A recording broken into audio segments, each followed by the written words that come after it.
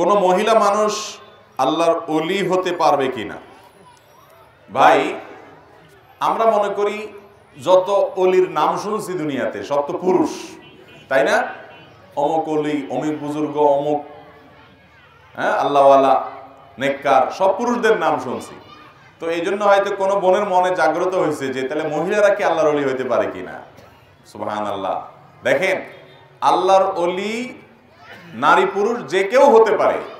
আল্লাহর অলি মানে আল্লাহর আনুগত্য, আল্লাহর দাসত্ব, আল্লাহর গোলামি করতে করতে, আল্লাহর কথাকে মানার ব্যাপারে যে যত সিরিয়াস হবে, যে আল্লাহর যত নৈকট্য অর্জন করার চেষ্টা করবে, যে আল্লাহকে যত খুশি করার চেষ্টা করবে, যে আল্লাহর হুকুম মতো যত বেশি চলবে, সে আল্লাহর তত বড় অলি।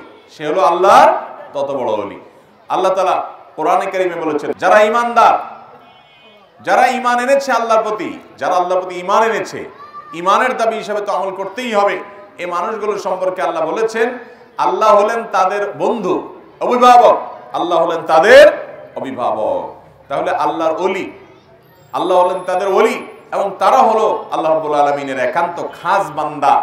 তাহলে আল্লাহর অলি বা নেককার মানুষ, এটা যে কোনো পুরুষ যেমন হতে পারে, একজন নারীও হতে পারে। সাধারণত নারীরা যেহেতু পুরুষদের মধ্যে দাওয়াতি কাজ করেন না বা করবেন না, এজন্য তাদের পরিচিতি বা তাদের নেককার হলেও তাদের ব্যাপারে পুরুষদের মধ্যে জানাশোনা না হওয়াটাই স্বাভাবিক। কিন্তু আমাদের মা বোনদের ভিতরে অনেক মা বোন আছেন, যারা এত বেশি আমল করেন, এত বেশি আল্লাহর আনুগত্য করেন যে তারা হয়তো অনেক পুরুষ পুরুষ তো বটেই অনেক বড় বড় আলেমের কাছ থেকেও আল্লাহর কাছে বেশি প্রিয় হয়ে আছে। এরকম অনেক মা বোন আছেন এই জন্য আমাদের বোনরা, আপনারাও আল্লাহর নেককার বান্দা। আল্লাহর অলি হতে পারেন, আল্লাহর ওলিয়া হতে পারেন, আল্লাহ রব্বুল আলমিনের নেককার বান্দি হতে পারেন, আল্লাহর নৈকট্য অর্জনকারী বান্দি হতে পারেন, আল্লাহর কাছ অফুরন্ত সবের অধিকারী হতে পারেন। হাজার হাজার পুরুষকে পেছনে ফেলে আপনি অগ্রসর হয়ে যেতে পারবেন আপনার আমলের মাধ্যমে। অতএব আল্লাহর কাছে আমল হলো দেখার বিষয়। নারী আর পুরুষের কোনো পার্থক্য আমলের ব্যাপারে আল্লাহর কাছে নাই। আল্লাহ তালা কোরআন কারিমে বলেছেন, মান আমিরা সালেহা যে ব্যক্তি ভালো কাজ করবে তোমাদের মধ্য থেকে, যে ভালো কাজ করবে, চাই সে মিন জাকারিন আও উনসা, চাই সে পুরুষ হোক অথবা নারী হোক, যেই ভালো কাজ করবে, নেকামল যেই করবে ইমান আনার পর ইমান আনার পর ভালো কাজ ইমান এবং আমলে সরে দুইটা কাজ যে করবে, সে পুরুষ হোক আর নারী হোক, আল্লাহ বলছেন, দুনিয়াতে তাকে আমি পবিত্র জীবন দিব, পবিত্র জীবন। যে জীবনটাকে সে পবিত্রতা অনুভব করবে, ভেতর থেকে এক ধরনের পরিচ্ছন্নতা অনুভব করবে, নেক ফিলিংস থাকবে তার মধ্যে এবং সেই সাথে আখেরাতে আল্লাহ তাআলা তার জন্য উত্তম বিনিময় দিবেন।